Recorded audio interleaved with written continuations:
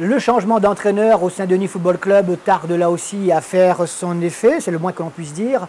Et face à une Saint-Pauloise en pleine confiance, l'occasion de sonner enfin la révolte était peut-être arrivée. Direction le stade Jean-Yves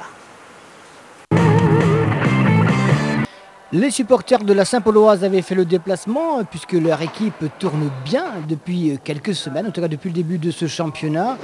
Et une fois de plus, le Saint-Denis Football Club, en jaune et vert, a fait montre de son côté d'une grande incapacité à concrétiser une domination indiscutable. Euh, toute la première période, les partenaires de Jerry Louis et Lebeau, titularisés, ont développé de bonnes actions offensives, mais par maladresse, ou plus simplement par manque flagrant de confiance à l'image de toute l'équipe, traumatisée par une succession d'échecs inattendus. Jamais donc le cuir n'a franchi la ligne des buts simplement. Une équipe visiteuse qui a subi pendant les 45 premières minutes sans s'affoler et remarquablement et rigoureusement organisée une Saint-Pauloise qui a finalement réédité à sa façon le scénario vécu par les Dionysiens la semaine dernière face à la Saint-Pierroise. Dirait lui qui tente encore une fois sa chance ici et ça passe nettement à côté. À la mi-temps donc 0 à 0. Une équipe dionysienne à en perdre la tête, voire à en perdre son short, comme ici Jerry lui, qui s'accroche, mais c'est toujours à côté. Et un scénario, je vous le disais, qui allait finalement se poursuivre dans la même lignée et que la semaine dernière, quand une première alerte Saint-Pauloise signée Carpaille survient à la 56e minute, Villepont étant sauvé, vous l'avez vu, par son poteau.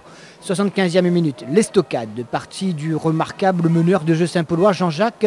C'est l'inévitable Willy Robert qui est à la conclusion d'une superbe frappe du gauche. Un Willy Robert qui a passé une excellente semaine et qui enfonce un peu plus des Dionysiens dans la détresse. Une Saint-Pauloise qui a aligné en l'espace d'une semaine 3 victoires, 12 points. Qui dit mieux?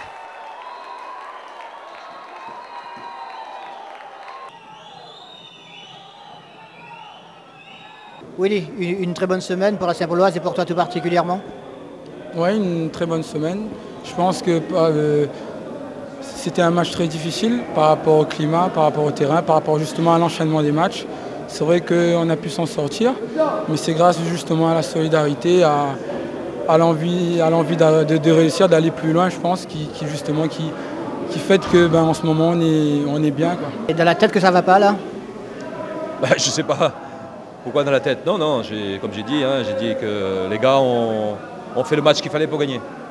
Mais le problème en ce moment, euh, on ne met pas dedans et nous, quand on a une occasion contre nous, c'est dedans. C'est la différence. Comment faire pour éliminer cette malchance? Bah, déjà, travailler à l'entraînement, retrouver une semaine de travail, et c'est dur en ce moment.